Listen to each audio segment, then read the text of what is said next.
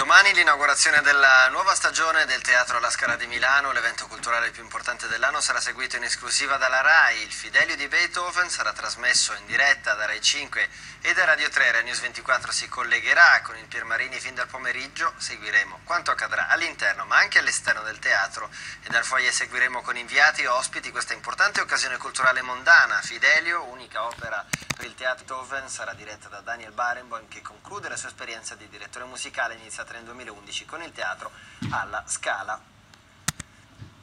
L'elenco di titoli che ebbero un esordio sciagurato e che oggi salmente considerati capolavori storici è alquanto lungo, dal Fidelio di Beethoven, come abbiamo visto alla Scala, alla Carmen di Bizet. Ce ne parla Guido Zaccagnini in piano pianissimo.